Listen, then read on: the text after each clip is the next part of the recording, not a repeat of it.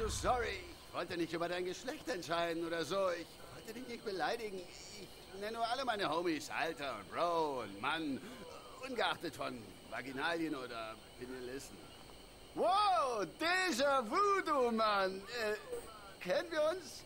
Verdammt, Mann, meine Gebete wurden erhört. Ich habe eine Standleitung zu dem Affenkönig, der da im Himmel rumhängt. Ich schätze, nachdem du ein Engel bist, der hier auf der Erde für den Affenkönig arbeitet, weißt du schon, dass ich den Truck von meinem alten Herrn wiederholen muss. Er ist echt sauer.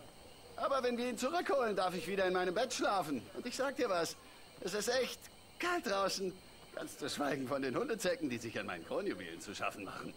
Komm schon, hilf mir, den Truck meines alten Herrn zu holen. Kratzen wir die Kurve, bevor der Alte hier rumballert. Er ist im Moment schärfer als der schärfste Kettenhund.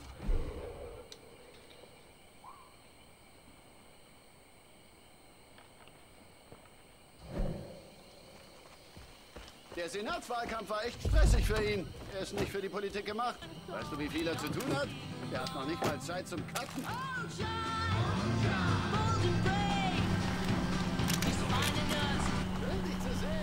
Scheiße, Mann, ich habe den ganzen Tag dafür gebetet. Ich habe den Affenkönig gebeten, das Jesuskind und sogar den Valentinstypen mir ein Zeichen zu senden. Und schon bist du da. Sag dir mal was, diesen Trunk zu holen, wird nicht leicht werden. Dieser bescheuerte Sektor, den...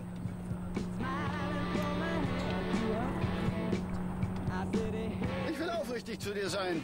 Alles hat angefangen, als ich mich denen anschließen wollte. Meines klang nach einer guten Idee. Sie hatten diese ganzen Waffen, Essen und klasse Weiber. Und diese drei Dinge sind eigentlich alles, was mich interessiert. Sah echt aus wie eine einzige Party, verstehst du? Also habe ich gesagt, hey Amigos, wo kann ich unterschreiben? Unterschreib hier, haben sie gesagt und dann angefangen, ihre ganzen Regeln aufzuzählen. Keine Unzucht treiben, das heißt übrigens kein Ficken. Kein Alkohol und keine wilden Partys, Mann. Nein, danke. Ich bin also nichts wie da. Aber ich habe bedauerlicherweise den Truck meines alten Herrn da vergessen. Der ist seither echt angefressen. Aber mach dir überhaupt keine Sorgen, weil ich habe einen neuen Schritteplan, um den Truck zurückzubekommen. Schritt 1, nicht mit Schnaps aufheitern. Dafür ist gesorgt, Homie. Schritt 2, um jemanden beten, der mein Problem löst. Erledigt. Schritt 3, oh shit. Rest weiß ich gerade nicht mehr. Aber es fällt mir unterwegs schon wieder ein. Verdammt, Keule, du kannst zuhören. Mein alter Herr hört mir nie zu. Deswegen fühle ich mich wohl auch so ungehört. Wir kommen in letzter Zeit nicht mehr miteinander aus. Seit er kandidiert, meckert er nur noch an mir rum. Trinken in der Öffentlichkeit, mit meinen Waffen umgehe. Du was halt, Mann. Aber wenn wir diesen Truck von den Peggys zurückholen, dann wird er echt beeindruckt sein, Alter. Er wird mich so sehr lieben und dann wird meine Mutter versuchen, mich mehr zu lieben, um mit ihm mithalten zu können. Und dann sieht er, wie sehr sie mich liebt. Und dann wird er versuchen, mich noch mehr zu lieben. Und dann werden Geburtstage und Weihnachten total krass.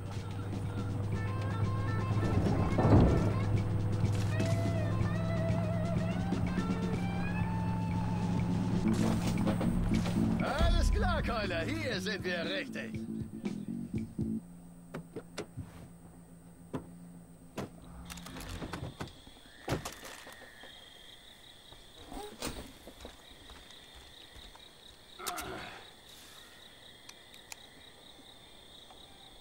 Ganz ehrlich, Mann, die Scheidung meiner Eltern habe ich persönlich genommen.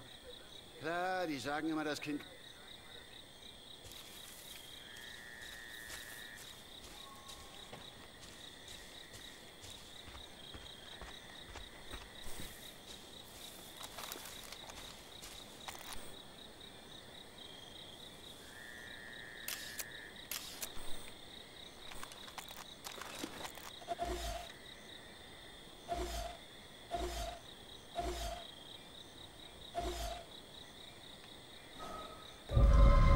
Nein.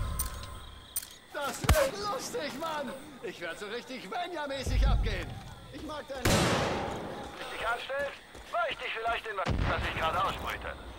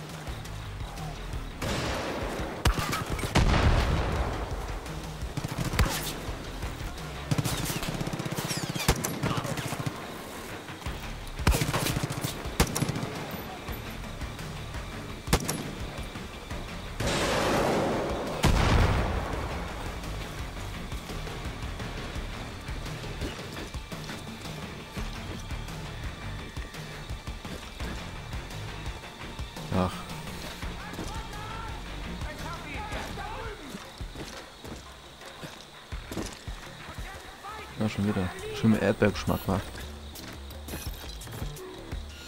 Mhm.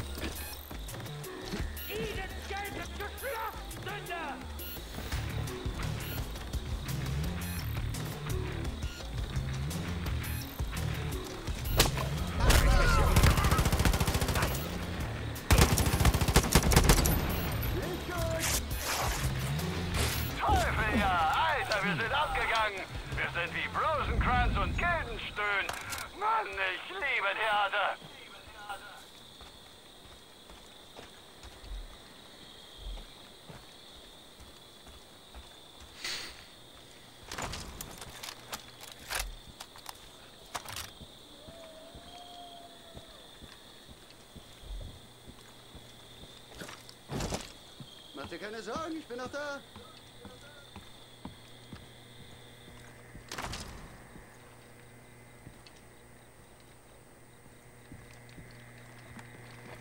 Oh, Keule, Zeit für Schritt 4. Der Truck ist ja ganz da unten. Wahrscheinlich warten noch mehr Peggys auf uns. Die Seilrutsche ist das A und B. Wir rutschen da runter und schleichen uns an wie Vollkasse Ninjas.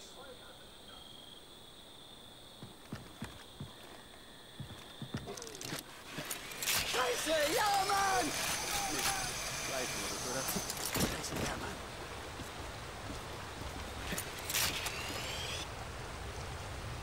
Das ist der Scheißmann!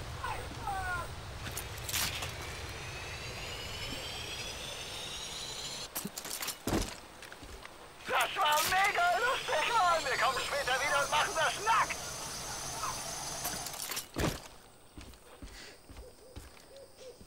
Füll die Brise auf meiner Haut! Geronimo!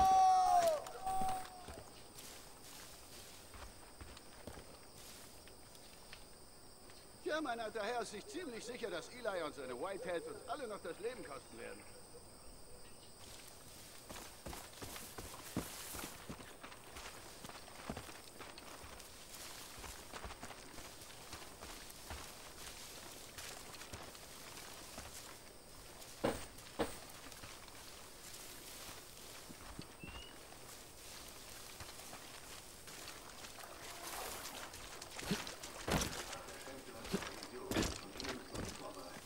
Nur bewaffnet fühle ich mich sicher.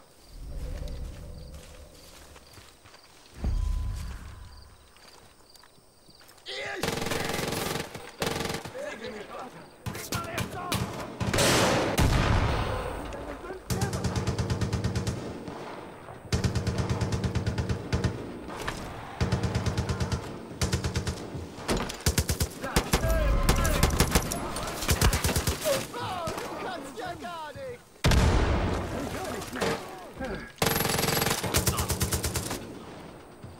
Vergeben Sie sich, Sir, und legen Sie Ihre Waffe nieder!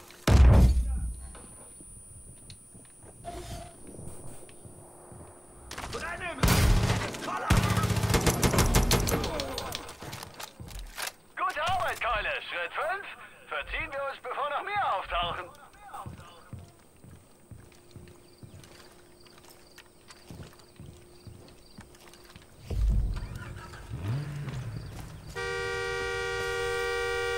Na schon, steig ein.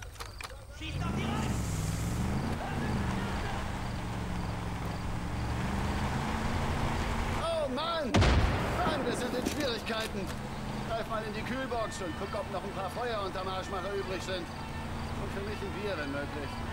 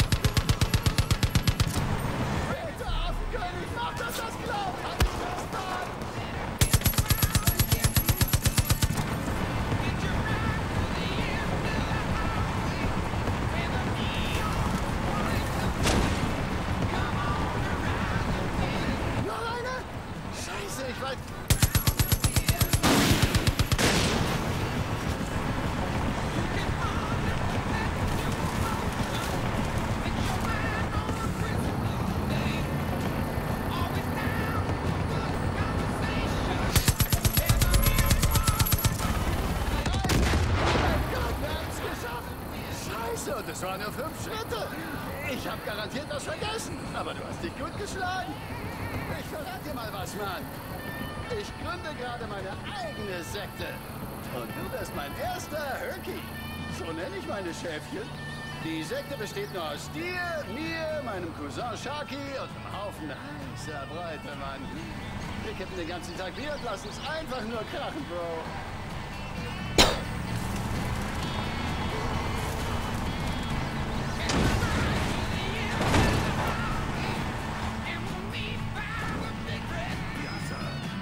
Klar, Deputy?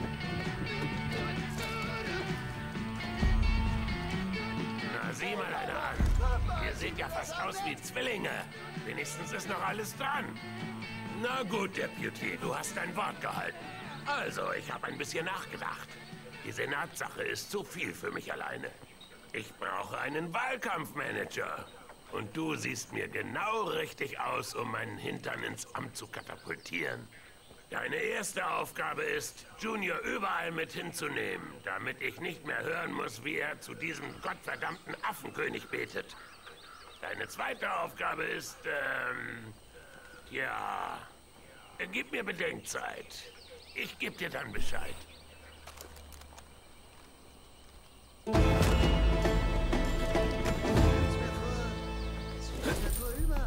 Na, wen haben wir denn da? Meinen neuen Wahl.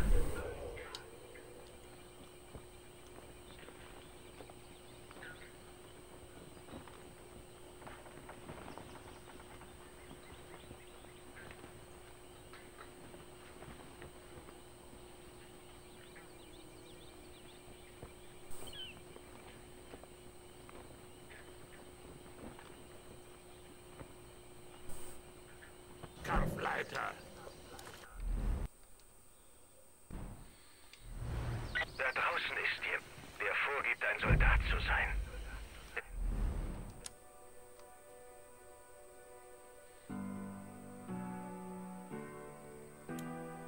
Tötet unsere Brüder und Schwestern und bringt dieses Projekt in Na, wen haben wir denn da? Dieser Feigling soll wissen, neuen dass er meine. Aufmerksamkeit geweckt hat. Meine Jäger kommen dich holen. Du kannst nirgendwohin flüchten. Ich weiß, dass ich das toll mache. Jäger hört sich jetzt nicht so gut an. Wenn Jacob dich haben will, wird er dir seine besten Leute nachschicken. Pass bloß auf dich auf, Deputy.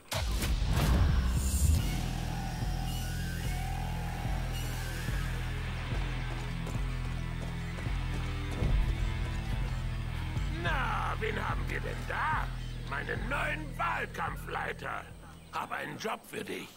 Kennst du dich mit Wahlkreisschiebung aus? Natürlich nicht. Du bist ein guter Amerikaner wie ich. Das ist nur was für Eierköpfe. Es geht um die Verlegung der Grenzen von Wahlbezirken und so. Egal. Die Wahlen stehen an und die Eierköpfe meinen, ich hätte so beschissene Umfragewerte, weil diese gottverdammten Peggys gegen mich stimmen werden. Man kann über die verrückten Kultisten sagen, was man will, aber immerhin gehen sie noch wählen. Die Eierköpfe meinen, meine einzige Chance auf einen Sieg bestünde darin, die Grenzen der Wahlbezirke so zu verlegen, dass die Peggys nicht mehr ins Gewicht fallen. Das hat mich auf eine Idee gebracht. Ich gewinne genauso leicht, wenn diese Peggys einfach nicht im Wahllokal erscheinen. Ich will dir nicht vorschreiben, wie man sowas bewerkstelligt. Zwinker, zwinker. Ich sage natürlich nicht.